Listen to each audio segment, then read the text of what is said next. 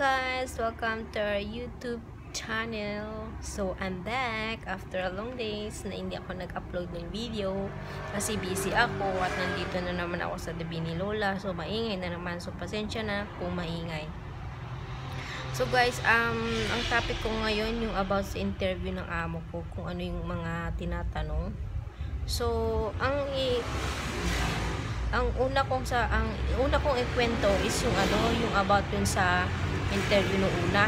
Para may ano kayo para may ideya kayo kung ano yung mga interview ng mga amo.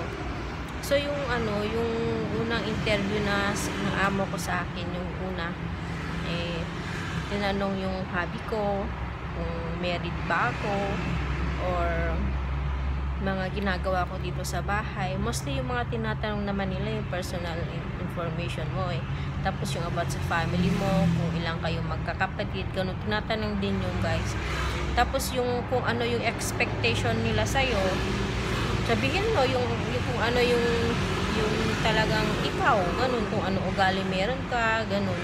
Tinatanong din yung guys kung meron kang bang pasensya, saka ito pa guys, ang mga tinatanong nila, uh, gaya nung ano, yung amo na na-hire sa akin ngayon, ang tinanong niya sa akin is, ano, ganito, um, for example, meron nagka-problema sa bahay nila, mer nagka-problema sa bahay nila, kung nag meron nangyari sa anak nila na, ano, ganyan, hindi maganda.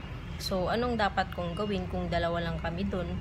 So, ang, ang, ang sagot ko guys, ano, kung hindi naman malala, tatawagan ko yung am ko para tulungan ko kung anong gagawin, 'di ba? Kung kung wala ka pang ideya, syempre bago ka pa lang.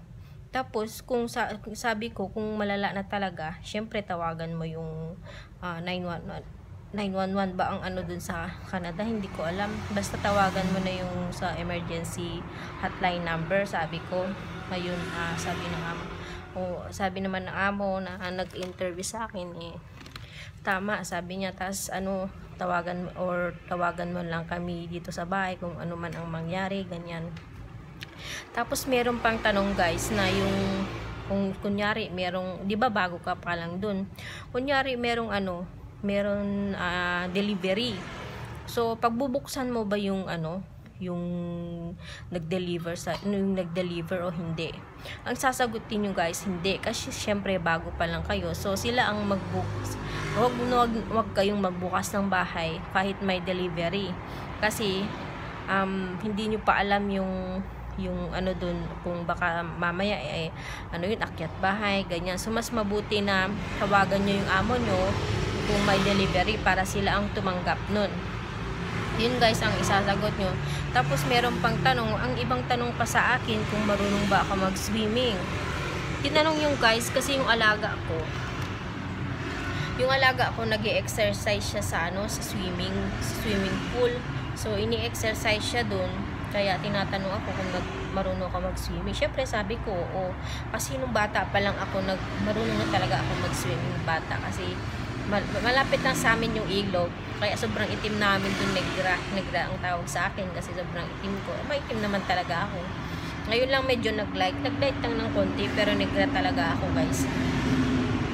Tapos yun ang mga ng tanong ng amo. Maraming tanong eh. Ano pa?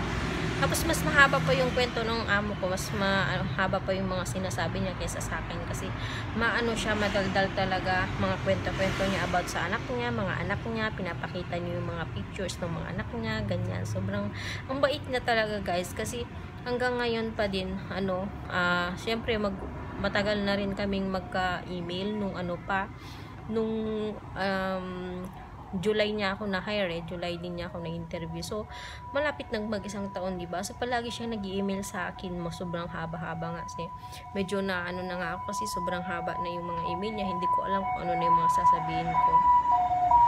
Tapos, yung mga iba pang tanong niya, guys, ano, um, ayun, about sa trabaho mo.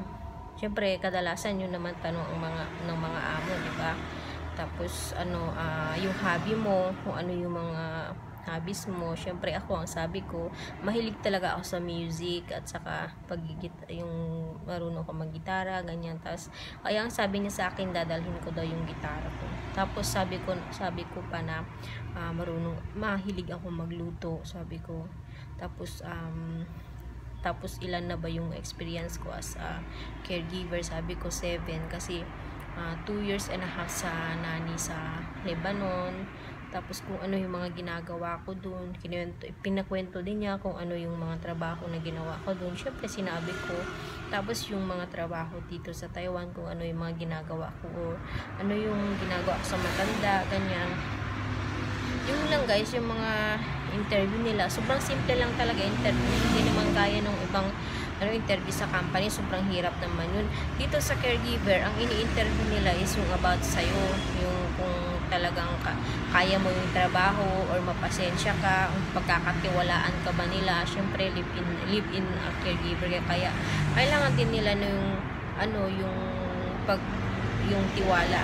Tiwala ba sa ano sa bago nilang kasambahay ganyan guys. So yun ang mga ano ini-interview yung mga tinatanong nila. Tapos ang tanong pa nila sa akin is kung dadalhin ko na daw ba yung dadalhin may balak ba daw akong dalhin yung uh, pamilya ko sa Canada ang sabi ko guys, hindi. Kasi sabihin ko na lang na hindi. Pero after siguro a years na dadalhin ko na sila. Kasi parang ayaw nila, parang gusto nila akong ano, mag-stay sa kanila ng forever ba. Parang ganun. So ang sabi ko na lang ay hindi.